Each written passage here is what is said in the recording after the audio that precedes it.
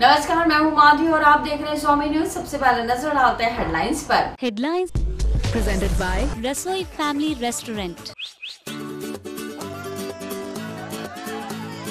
digga digga ding dong song.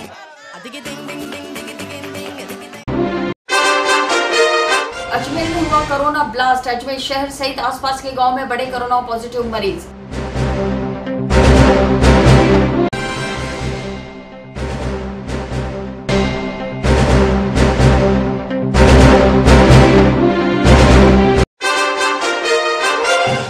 क्षेत्र के किशनपुरा से आया तेरह वर्षीय बच्चा कोरोना पॉजिटिव, परिवार के अन्य सदस्य भी आ चुके हैं पॉजिटिव। एसडीओ अस्पताल प्रभारी सहित चौदह की रिपोर्ट नेगेटिव।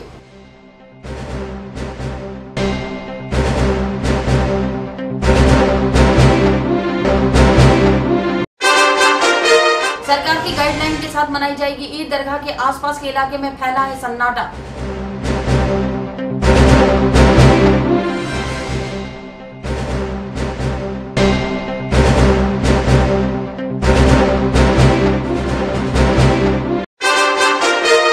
अनाज मंडी के बाद आने में लगी भीषण आग, वही कैदी वार्ड से पुलिस को चकमा देकर कैदी हुआ फरार। पुलिस ने वापस पकड़ा।